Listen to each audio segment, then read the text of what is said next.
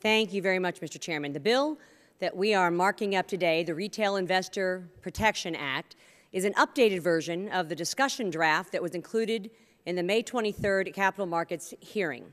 This legislation is intended to address one of the biggest threats facing retail investors today. Currently, two federal agencies, the SEC and the Department of Labor, are headed towards two separate and massive rulemakings that could fundamentally change the way in which American families and individuals save money for retirement, their kids' college education, or to buy a new home.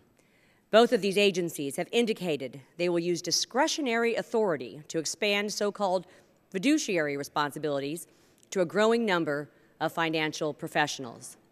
While such an undertaking has been sold as a pro investor initiative, it appears that neither the SEC or the DOL have considered the serious adverse consequences that would befall retail investors if these rules move forward.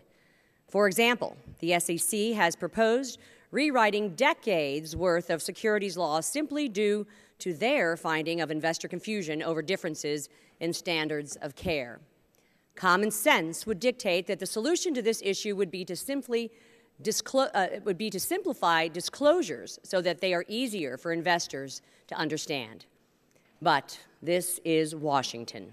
So the SEC has instead proposed the adoption of an entirely new regulatory regime for brokers, even though it is at best unclear whether investors would actually benefit from it.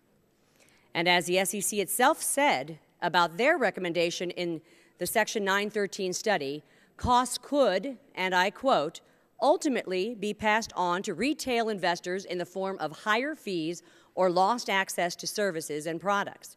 And any increase in cost to retail investors detracts from the profitability of their investments.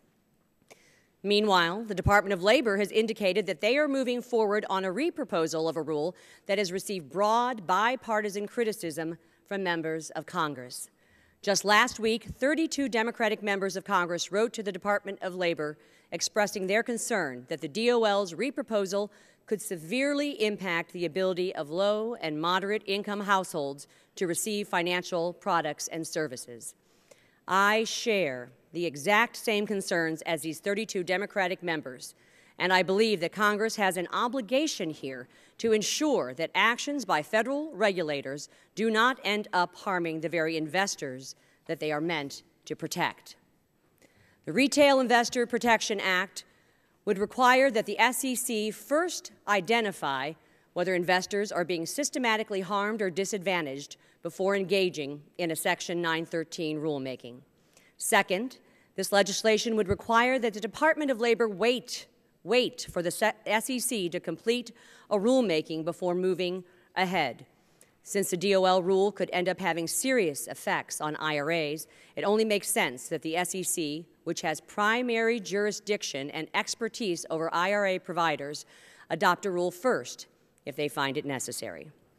I think it's important to remember what's at stake here.